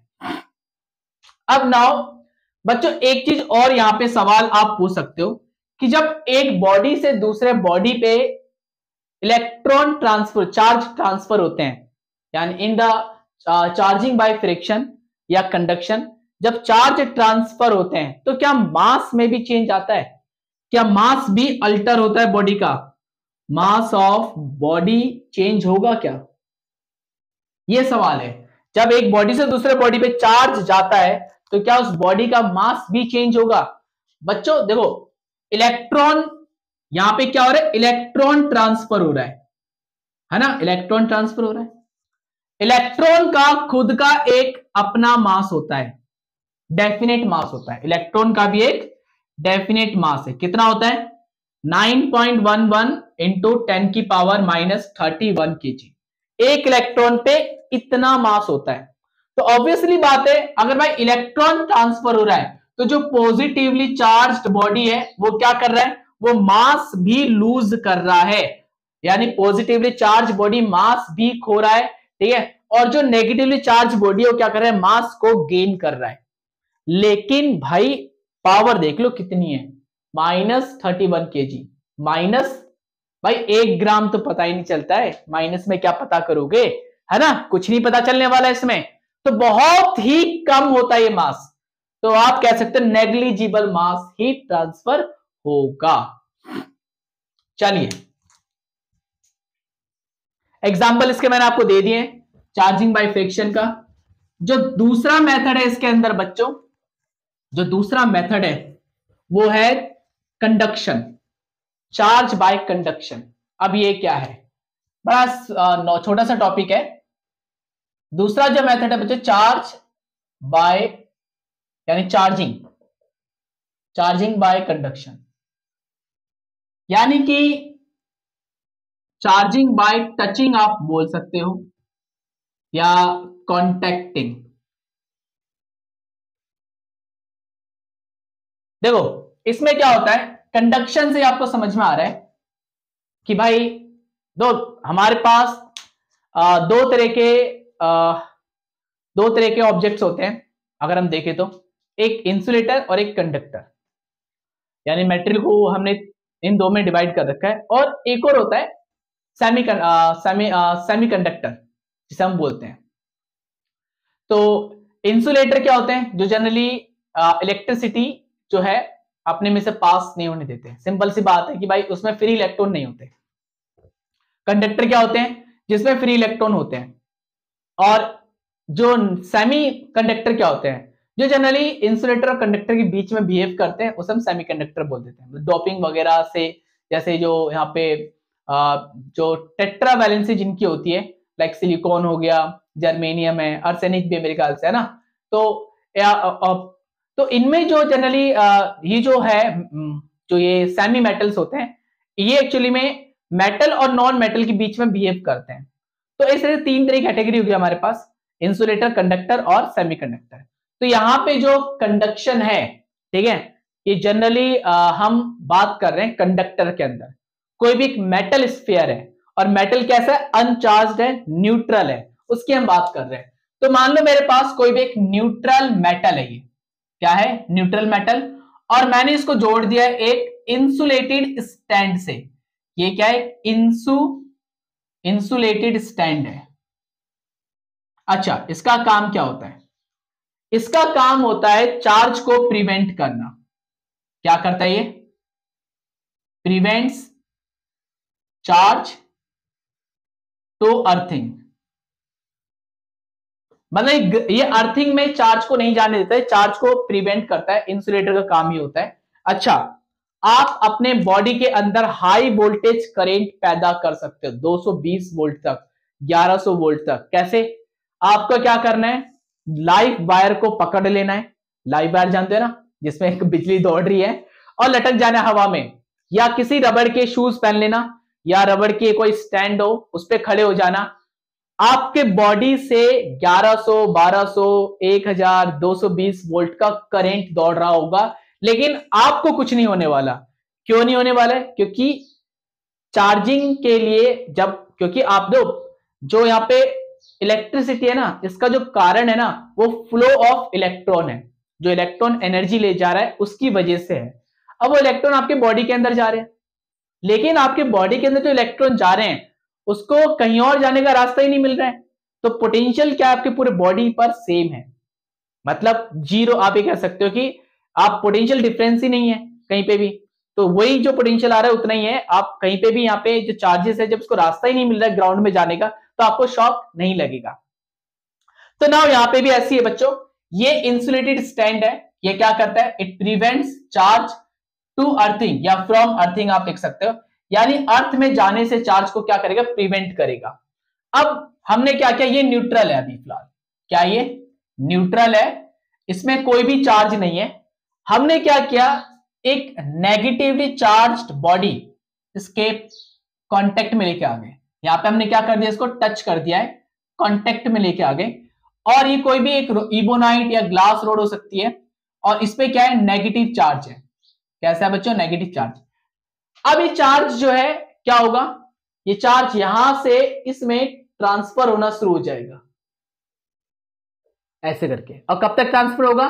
जब तक ये इक्विलिब्रियम में नहीं आ जाता। जब तक इक्विलिब्रियम अटेंड नहीं हो जाती, तब तक ये चार्ज ट्रांसफ़र होगा। इक्विली इक्विलिब्रियम अब क्या करेंगे? इस ग्लास रोड को आप रिमूव कर दो। इसको रिमूव करोगे तो यहाँ पे जो मेटल है ये नेगेटिवली चार्ज हो जाएगा। और जो यहाँ पे चार्जेस दिख रहे हैं ना आपको ये यूनिफॉर्मली डिस्ट्रीब्यूट हो जाएगा यहाँ पर। ये यूनिफॉर्मली इस तरीके से डिस्ट्रीब्यूट हो जाएगा। तो यानी ये हमारे पास चार्ज बाय कंडक्शन तो दूसरा मेथड है जिसमें क्या करते हैं? एक्चुअल में टच कराया जाता है दो बॉडीज को ठीक है? तो इसमें क्या होगा जो चार्जेस होगा जिसपे एक्सेस इलेक्ट्रॉन है कुछ इलेक्ट्रॉन उसमें चले जाएँगे मेटल स्फेयर में और कब तक जाएगा? जब तक ये चार्जेस जो है इक्विलिब्रियम स्टेट में नहीं आ जाते। यानी कि दोनों पे चार्जेस जब तक बराबर नहीं हो जाता, तब तक इलेक्ट्रॉन यहाँ पे ट्रांसफ़र होगा। उसके बाद ये हटा देना, इसको रिमूव कर दोगे तो ये मेटल स्पेयर चार्ज हो जाएगा। और क्योंकि यहाँ पे इंसुलेटेड स्टैंड है रबड़ बॉल है रबड़ की स्टैंड आप ये कह सकते हो तो रबड़ की स्टैंड क्या करेगी जनरली अर्थ में चार्ज को जाने से रोकेगा। तो चार्ज वहीं पर रहेंगे जहाँ पर है, क्योंकि इंसुलेटर में इलेक्ट्रॉन फ्लो नहीं करते हैं। अच्छा तीसरा मेथड जो है, charge, charging by induction. Charging by induction. इसमें हम क्या करते हैं? इसमें हम टच नहीं करते हैं। विदाउट टच ये है एक्चुअली विदाउट टच फीलिंग लेके आएँगे इसके अंदर। विदाउट विदाउट टच होता है इसमें क्या होगा बच्चों? इसमें हम देखते हैं कि मान लो मेरे पास कोई मेटल स्फेयर है, कोई भी एक मेटल स्फेयर है, और ये आ गई इंसुलेटेड बॉल क्या आ गया? Insulated insulated stand wall wall कर रहा हूँ मैं इंसुलेटेड स्टैंड हो गया ये. ठीक है बच्चों? अब क्या होगा यहाँ पे? हम क्या करेंगे? एक इबोनाइट रोड या कोई ऐसी जो नेगेटिवली चार्ज रोड है, इसके बिल्कुल समीप लेके आ जाएँगे. ऐसे करके. अब देखो, आपको पता है कि भाई मेटल स्पेयर है तो इसके अंदर फ्री इलेक्ट्रॉन होगा। अब ये इलेक्ट्रॉन है, ये भी तो इलेक्ट्रॉन ही एक तरह से, है ना? अब जो यहाँ पे फ्री इलेक्ट्रॉन होगा, इस नियर बाय फेस पे, जिस रॉड के बिल्कुल सामने है, बिल्कुल जो पास वाला फेस है तो यहाँ के जो इलेक्ट्रॉन होंगे, क्या, कहाँ चले जाएँगे? दूसरी साइड चले जाएँगे। ओके?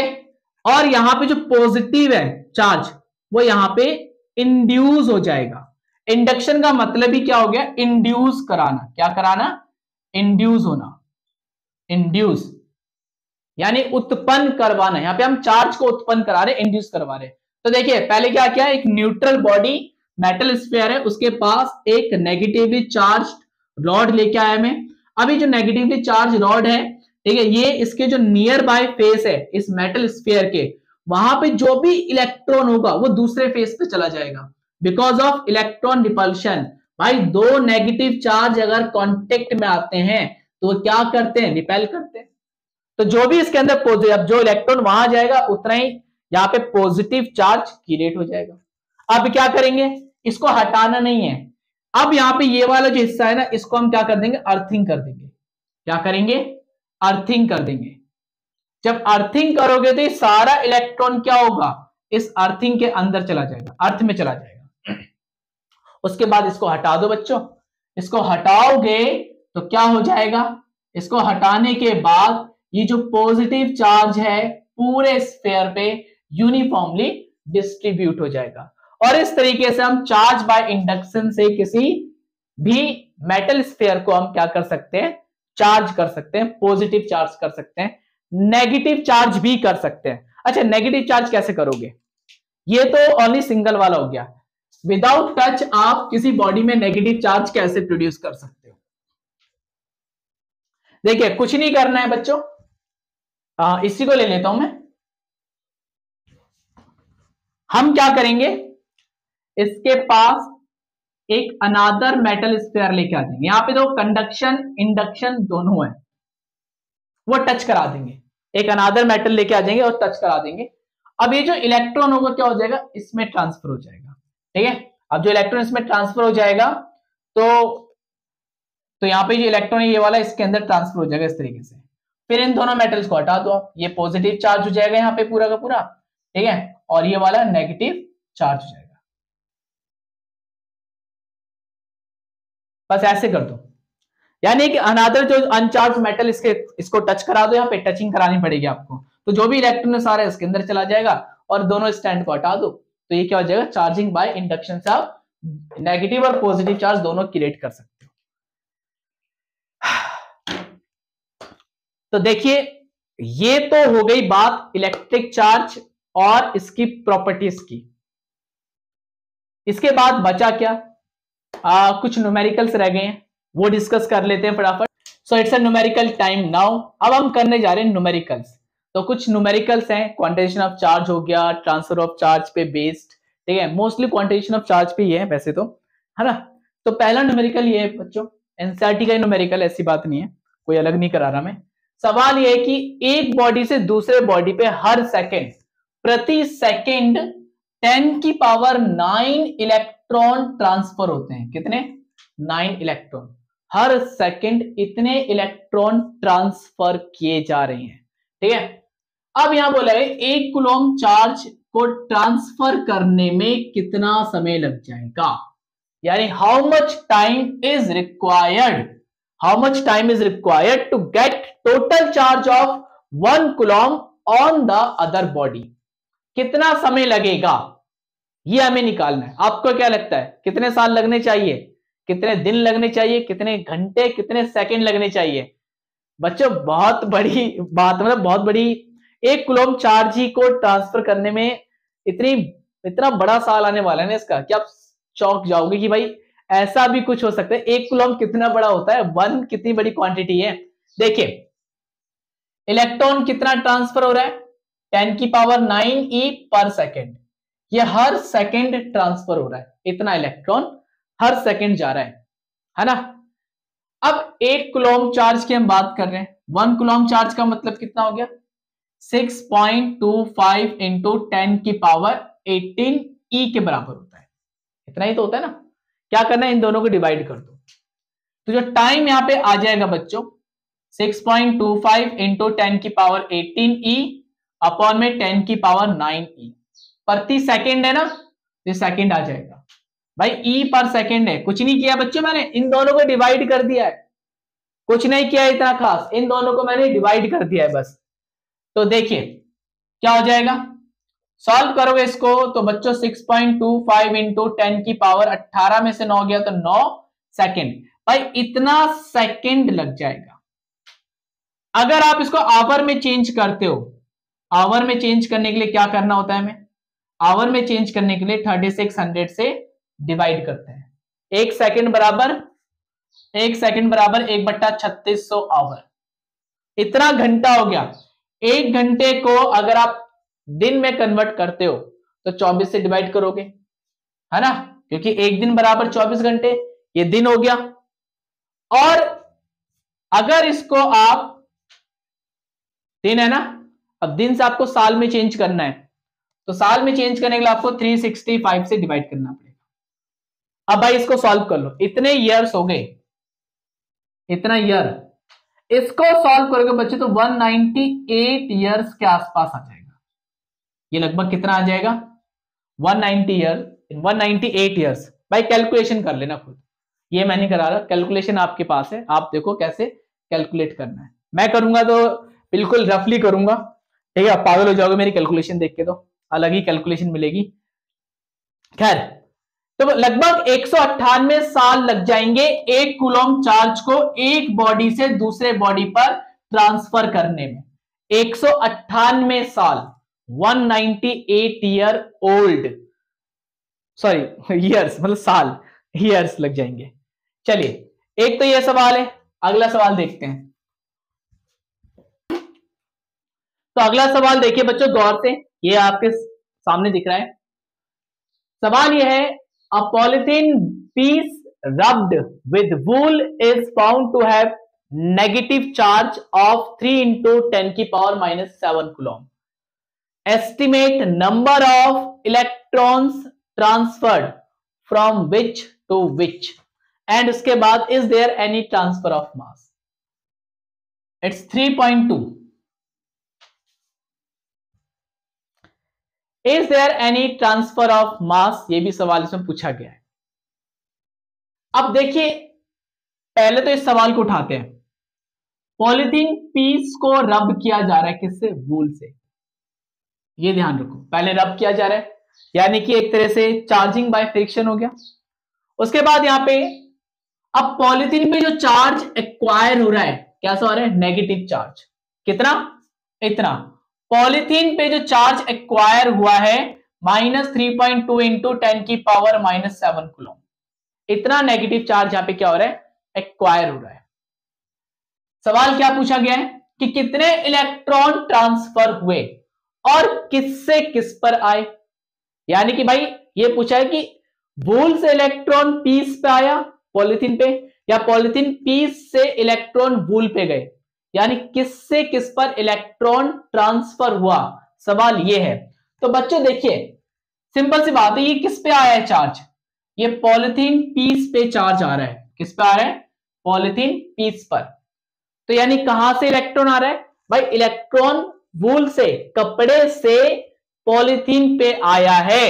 तो electron transfer transferred from from wool to polythene piece अब ऐसा क्यों हो गया? भाई, बताया था ना, याद है? कि जो इलेक्ट्रॉन एक्वायर करता है, वो नेगेटिवली चार्ज बॉडी बन जाता है, और जो लूज करता है, वो पॉजिटिवली चार्ज बॉडी बन जाता है। तो यानी वूल से इलेक्ट्रॉन पॉलिथीन पे गए हैं सिंपल सी बात है। हमें क्या निकालना है? नंबर ऑफ़ इलेक्ट्रॉन निकालना कि इतने में कितने इलेक्ट्रॉन ट्रांसफ़र हुए होंगे। भाई, बड़ा सिंपल सा सवाल है ये। तो यानी जो नंबर ऑफ़ इलेक्ट्रॉन हो जाएगा, क्या करना है आपको? डिवाइड करना है। क्वांटाइजेशन ऑफ़ चार्ज अप्लाई कर लो यहाँ पे। क्यू इक्वल टू एनी होता है। और हमारे पास क्यू कितना है? Minus three point two minus हटा दो। Three point two into ten की power minus seven N into में वन पॉइंट सिक्स इंटू में टेन की पावर माइनस नाइनटीन यही तो होता है ना ई e की वैल्यू भाई एन निकालना है। सोलह दूनी क्या होता है? बत्तीस होता है। माइनस सेवन प्लस में नाइनटीन कितना हो गया? उन्नीस में से सात गया। हमारा बचेगा कितना? बारह। सो दो गुना में दस की पावर बारह इलेक्ट्रॉन ट्रांसफ़र हुए हैं। कितने हुए? दो गुना में दस की पावर बारह इलेक्ट्रॉन ट्रांसफ़र हो चुके हैं। अच्छा बी पार्ट क्या यहाँ पे मास का भी ट्रांसफ़र है? बिल्कुल है। जब इलेक्ट्रॉन ट्रांसफ़र हो रहा है तो मास भी जाएगा। और कितना मास ट्रांसफ़र हो वो भी निकालना है। तो यस और जो यहाँ पे मास आ जाएगा मास जो ट्रांसफ़र मास जो यहाँ पे हो जाएगा टू इंटू में टेन की पावर ट्वेल्व इसी को बच्चों क्या करोगे? जो इलेक्ट्रॉन का मास होता है उससे गुणा कर लोगे। Nine point one one into ten की power minus thirty one into कर लो। दो दो दो में अट्ठारह गुना में दस की घात। ग्यारह में से दो हो गया तो नौ बचा। दो में से एक गया तो एक माइनस नाइनटीन यानी one point eight two two into ten की power minus eighteen K G के बराबर मास का ट्रांजेक्शन हुआ है।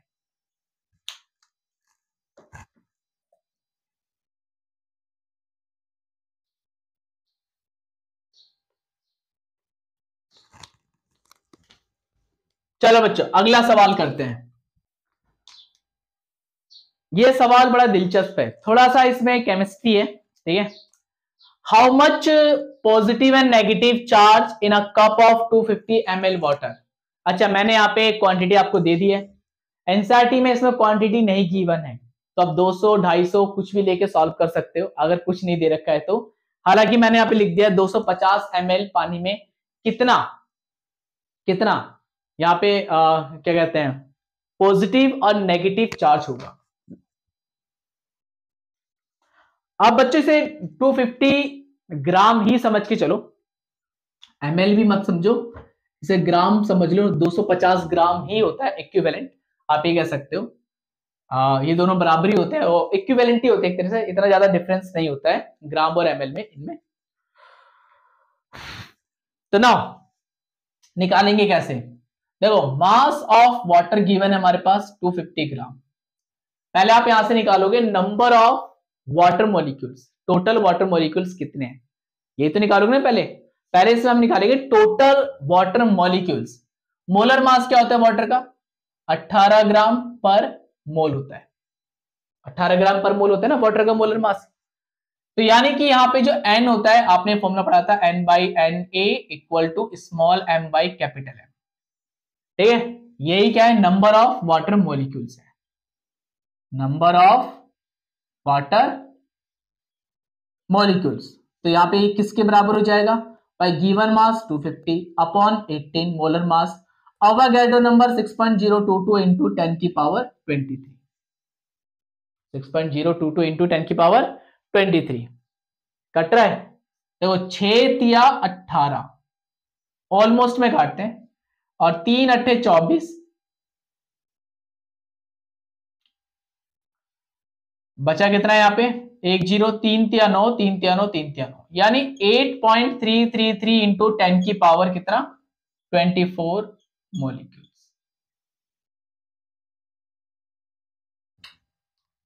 चलिए। तो इतने मॉलिक्यूल्स हो गए। ज़्यादा नहीं हो गई है? बहुत ज़्यादा हो गया। कोई बात नहीं।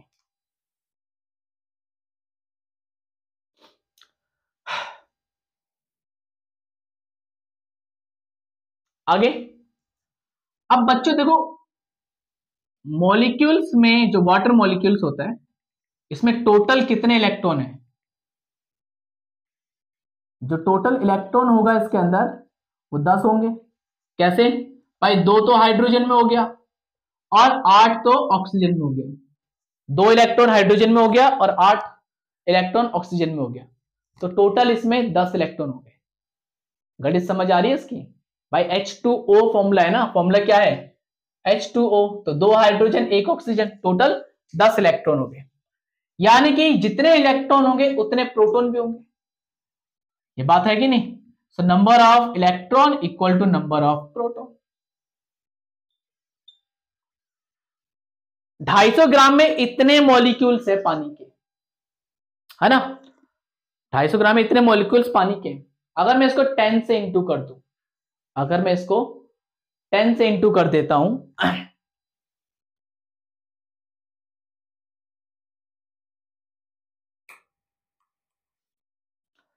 तो यानी कि हमारे पास जो नंबर ऑफ़ इलेक्ट्रॉन हो जाएँगे टोटल बच्चों 8.333 पॉइंट इंटू टेन की पावर 24 इंटू में टेन भाई, एक मॉलिक्यूल में 10 इलेक्ट्रॉन है तो इतने मॉलिक्यूल्स में कितने इलेक्ट्रॉन हो जाएँगे टोटल इतने इलेक्ट्रॉन के बराबर हो जाएँगे। तो टोटल चार्ज कितना हो गया? जो टोटल चार्ज हो जाएगा कौन सा वाला? नेगेटिव और पॉजिटिव दोनों चार्ज चाहे पॉजिटिव चाहे नेगेटिव हो। किसके बराबर हो गया? यानी कि इसको इंटू करोगे 8.333 point three three three into ten की पावर 24 इंटू में। आ, अच्छा 10 जब इसको इंटू करो तो पावर एक बढ़ जाएगी। वन इलेक्ट्रॉन होता है 1.6 पॉइंट सिक्स इंटू टेन की पावर माइनस नाइनटीन के बराबर। अब इसको आप कर लो मल्टीप्लाई तो मल्टीप्लाई करेंगे तो कितना आ जाएगा? ऑलमोस्ट आप ये कह सकते हो, सोलह या अड़तालीस, चार अड़तालीस, चार, बावन, पाँच अड़तालीस, पाँच, कितना हो जाएगा? तिरपन और पाँच। और इसके बाद यहाँ पे सोलह अट्ठे होता है, एक सौ एक सौ है ना? एक सौ अट्ठाईस। और एक सौ अट्ठाईस जमा में पाँच कितना हो गया? एक सौ कुछ। एक सौ अट्ठाईस जमा में पाँच कितना हो जाएगा? कुछ एक सौ तैतीस के आसपास हो जाएगा। लगभग इतना ही आएगा। और टेन की पावर पच्चीस में से उन्नीस गया तो भाई छह बचा। तो कितना हो गया लगभग ये? तेरह पॉइंट समथिंग है ना? नहीं इतने ठीक है। हाँ तेरह पॉइंट समथिंग हो जाएगा भाई, एक डेसिमल यहाँ भी है। तो जब इसको सॉल्व करोगे तो 1.33 के आसपास इंटू में 10 की पावर 7 भाई, इतना पॉजिटिव और नेगेटिव चार्ज होगा वन कप ऑफ़ वाटर में। यानी एक कप पानी में सॉरी हाँ एक कप आ, एक कप में जो पानी है ठीक है? एक कप एक कप पानी जो है यहाँ पे उसमें लगभग इतने नेगेटिव और पॉजिटिव चार्ज के चार्ज होंगे। इतने नेगेटिव और पॉजिटिव इलेक्ट्रिक चार्ज होंगे। चलिए अगला सवाल करते हैं। सिंपल है बच्चों कुछ नहीं करना है। पहले आपको थोड़ी केमिस्ट्री यूज़ करनी है। Number of moles moles concept लगाना है इसके अंदर। आवागैड्रो नंबर निकाल लिया। उसके बाद total electron number of electron proton बराबर हो जाते हैं सॉल्व कर लो, हो गया।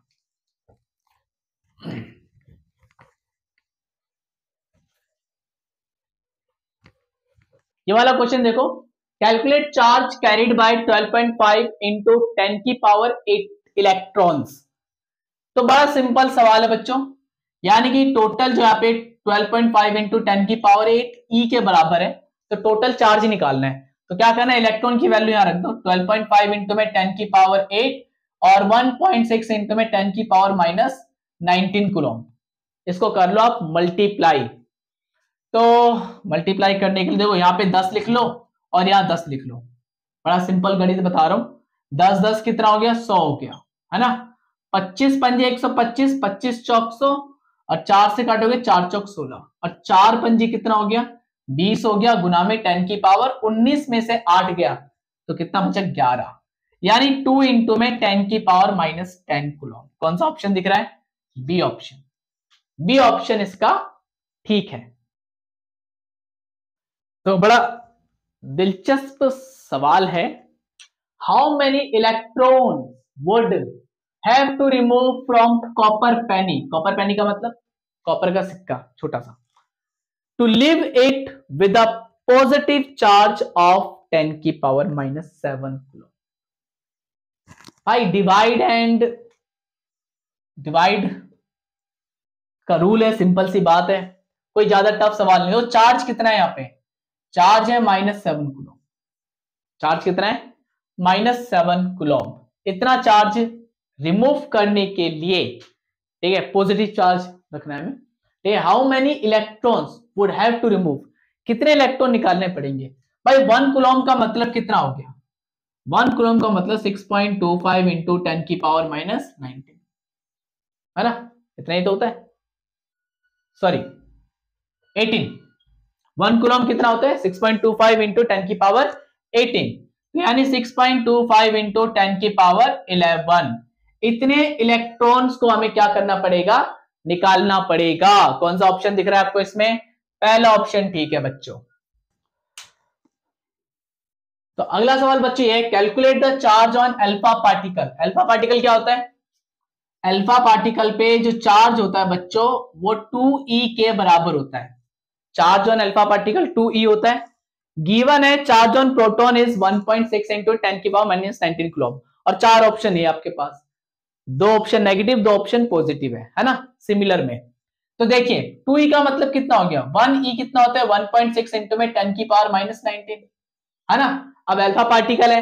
तो भाई चार्ज इस पे क्या है? पॉजिटिव चार्ज है। तो यानी प्रोटोन की बात चल रही है। सिंपल सी बात है प्रोटोन होता है बच्चे ध्यान रखना। ठीक है? तो ये कितना जाएगा? थ्री पॉइंट टू इंटू में टेन की पावर माइनस नाइनटीन कुलोम वो भी प्लस वाला। तो ऑप्शन बी ठीक है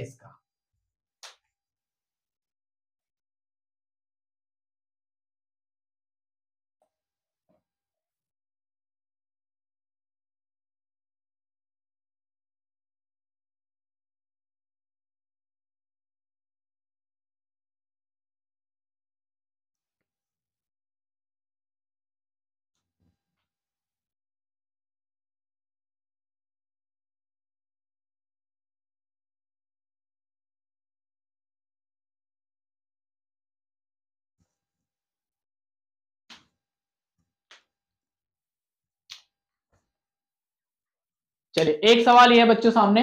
Calculate the charge on 5626 iron nucleus given charge on a proton is 1.6 point six into ten की पावर माइनस नाइनटीन किलो देखो बच्चों, यहाँ क्या पूछे चार्ज ऑन न्यूक्लियस पूछा है, ये ध्यान रखना। चार्ज ऑन न्यूक्लियस और न्यूक्लियस में क्या होता है? प्रोटोन होता है है ना? तो भाई पॉजिटिव चार्ज निकालना है। तो देखिए, यहाँ पे जो चार्ज हमें गिवन है, एक तरह से 1.6 पॉइंट सिक्स इंटू टेन की पावर माइनस नाइनटीन कुलोम के बराबर है। तो न्यूक्लियस पे चार्ज कितना होगा? देखो भाई, न्यूक्लियस है, इसमें कितने प्रोटॉन होंगे? 26 आपने पढ़ा होगा, यहाँ पे मास नंबर होता है और यहाँ पे एटॉमिक नंबर होता है। यही एक्चुअली में number of proton, number of electron होता है है ना? एलिमेंट रिप्रेजेंटेशन आपने पढ़ा होगा। तो यहाँ पे क्या हो जाएगा बच्चों? अगर हम देखें जो टोटल नंबर ऑफ़ प्रोटोन हो गया, यानी टोटल जो चार्ज हो जाएगा टोटल जो चार्ज हो गया यहाँ पे, यानी टोटल नंबर ऑफ़ प्रोटोन यहाँ पे 26 है। है ना? तो ये 26 प्रोटोन और एक प्रोटोन पे चार्ज कितना होता है? ई e के बराबर होता है। एक प्रोटोन पे चार्ज ई e होगा तो यानी कितना हो जाएगा? 26 सिक्स इंटू में 1.6 पॉइंट सिक्स इंटू टेन की पावर माइनस नाइनटीन इसको आप मल्टीप्लाई कर लो आप। सोलह छियानवे, नौ, सोलह दुनी बत्तीस और नौ कितना हो गया? इकतालीस। यानी 41.6 इंटू टेन की पावर माइनस नाइनटीन कुलोम और 4.16 इंटू में टेन की पावर माइनस एटीन कुलोम के आसपास इसका आंसर आएगा। तो बच्चों, ये तो हो गए न्यूमेरिकल्स यानी कि क्वांटाइजेशन ऑफ़ चार्ज पे बेस्ड और जो हमने फ्रिक्शन पे, और चार्जिंग बाय फ्रिक्शन पे जो बेस्ड कुछ सवाल थे वो हमने आज बना लिए हैं। दो इसकी डीपीपी है। ये डीपीपी वन के सारे सवाल है। डीपीपी वन आपको आ, डिस उसका जो लिंक है डिस्क्रिप्शन बॉक्स में मिल जाएगा। टेलीग्राम पे जाके उस क्रेजी फॉर फिजिक्स से उस चैनल को सब्सक्राइब कर लेना मेंबर बन जाना और वहाँ पे आपको सारी अपडेट्स वीडियो से रिलेटेड और क्या कहते हैं डीपीपी से रिलेटेड नोट्स से रिलेटेड सब कुछ मिल जाएँगे। सो बने रहिए जुड़े रहिए। and see you in the next video with Coulomb's force Coulomb's law electric force और इस पे बेस्ड बहुत सारे न्यूमेरिकल्स टाटा बाय